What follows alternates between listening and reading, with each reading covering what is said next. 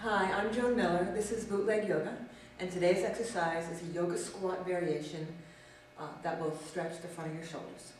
Let's give it a try. A little bit of a wide stance here. I'm going to lower the bum down and keep the heels on the floor. So you might have to experiment to see how wide you have to bring your feet to get the heels down. And if your heels are not down right now, don't worry about it. It will happen.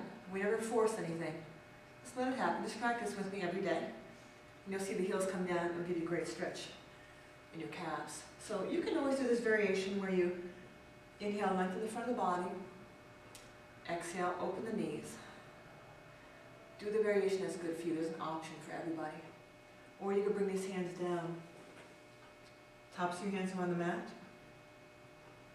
And as you inhale, you'll lengthen the body. Exhale, you still open the knees where you feel a stretch in the front of your shoulders. The shoulders draw away from the ears. Inhale. Exhale, open.